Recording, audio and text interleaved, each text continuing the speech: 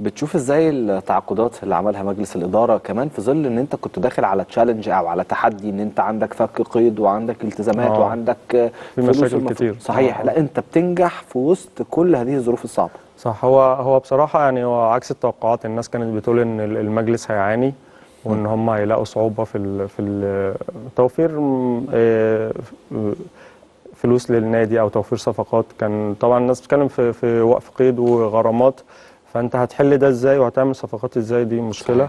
لكن الناس فاجئونا بصراحة بال- ب- بالصفقات وبنوع الصفقات كمان إن هم صفقات محترمة و- ولاعيبة هتفيد الفرقة. وإن أنت طبعا بت بتدي أمل لجمهور الزمالك تاني إنه ال- النادي يبقى فيه استقرار. يعني ده ده اللي كل ال- الجماهير بتتمناه. صحيح. وك- وكمان برضه يا كابتن بقى عايزين نتكلم في نوع الصفقات. يعني أنت عملت صفقات فعلا نادي الزمالك في احتياج شديد ليها. عملت صفقات بأسامي كبيرة كان الجمهور بينادي عليها. أكيد. أنا بس كان أنا عندي تحفظ في حاجة إنك كنت محتاج تدعم في الدفاع شوية. أنت اهتميت شوية بنص الملعب وبالهجوم بس في الدفاع كنت محتاج ممكن تجيب حد خصوصا في في ظل إصابة ال- الونش. ف... ف... شايف ده مع إصابة الونش قصدي آه آه مع إصابة الونش كنت محتاج حد تاني.